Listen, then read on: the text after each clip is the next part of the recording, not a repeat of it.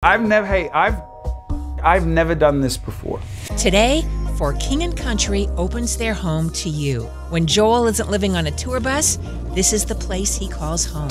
And let's just say he doesn't hold back. This is the, the closet. You're not going to believe what you get to see. Can we do this? A camera on the move. All right, shall we? Let's go. You're in the living room. If you walk a few steps, you'll be in the kitchen.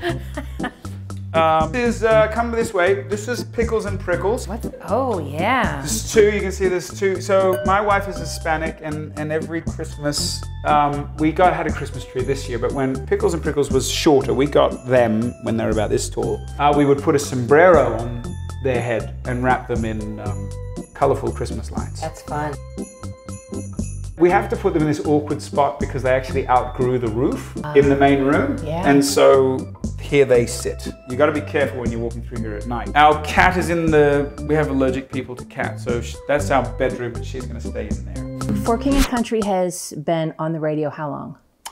It, it, uh, it was 2012. Go back in time, anytime before then, right? So Yeah. And tell me, there's no way you guys could have imagined. What was in your mind? When we started out traveling with Rebecca, the joke was that dad needed um, a road crew, a cheap road crew. And he looked around and he saw that he had five sons.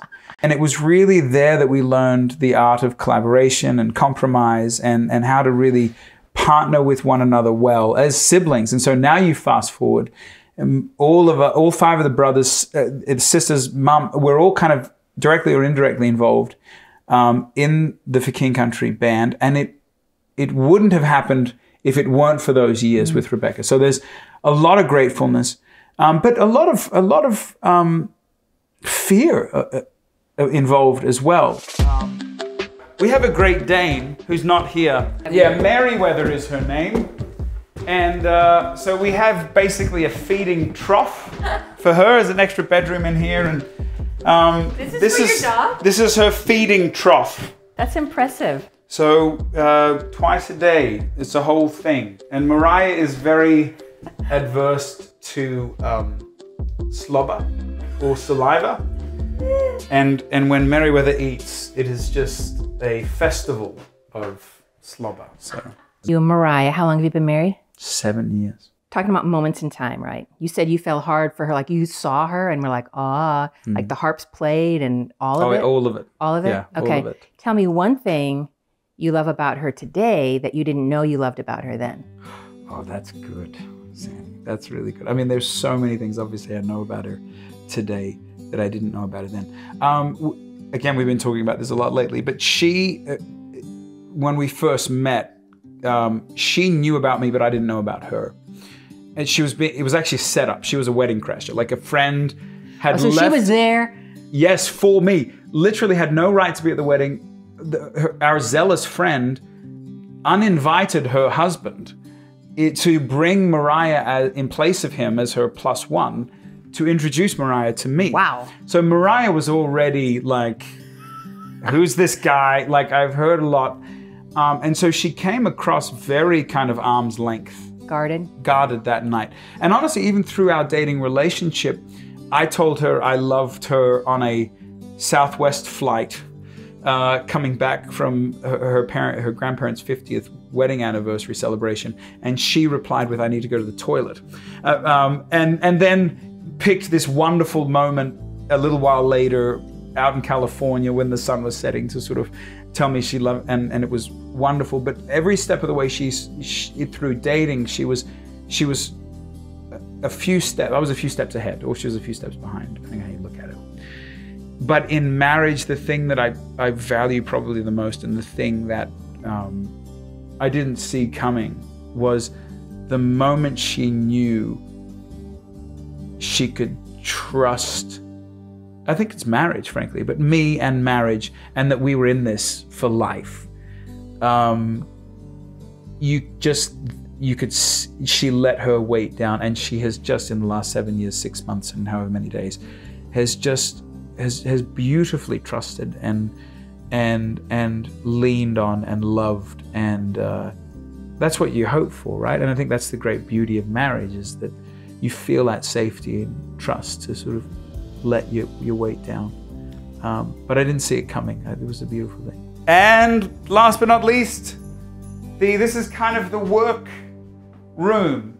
We're, we're- as we said, we're in the process of sort of moving, and so um, some stuff has been evacuated already.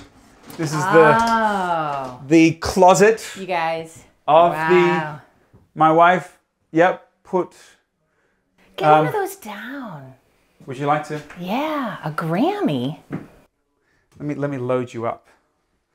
It's one, two. You know how they do those? They're heavy. They're very heavy. You know they do those pictures where they um, they just all hold them at the same time. Yeah. So here you go. This is Sandy's Sandy's picture. This one's around the wrong way. There you go. So tell us what these are for. So uh, our second record, our sophomore record, "Run Wild, Live Free, Love Strong," that was for album of the year. This is for um, uh, song of the year with Lecrae, uh, "Messengers." Our third record for "Burn the Ships," uh, album of the year, and this is "God Only Knows" with Dolly Parton. Isn't that crazy?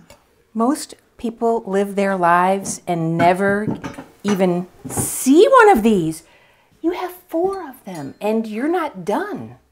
Well, Plus, there's a Dove Award. I see a Dove yeah, Award up there's there. Dove Award up there. That is pretty um, bizarre to me. You know, as a musician, I mean, you don't do it. Obviously, it's like radio. You don't do it for the the you know the ratings and the accolades, but it sure is solidifying to know that you people are saying, "Hey, job well done." You know. Oh, here's another little uh, little piece for you. Come around here, Becca. This is where we put our cell phones at night. So Not in your room. no, I walk up here every night about six o'clock. I Put my phone there and Mariah's phone there, and then until the next morning, we no cell phone. It's a device detox. How, have you done that your entire marriage, or is that's a No, great no, idea, by the way? They they obviously and, and occasionally they sort of graduate back into the room, but for the most part we're pretty good about it now.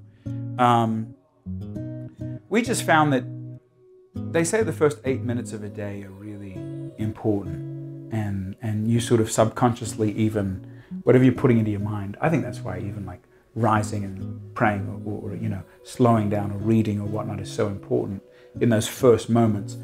But what you can tend to do right is you roll out and you just and then you're in it. And uh, and we were doing that all the time. So this became uh, an opportunity to go you know what let's just put them away How fun to get a sneak peek into the homes of some of your favorite Joy FM artists. But what about a sneak peek into their minds and hearts as well? Click here to watch this powerful Healing Out Loud video with Joel from For King and Country.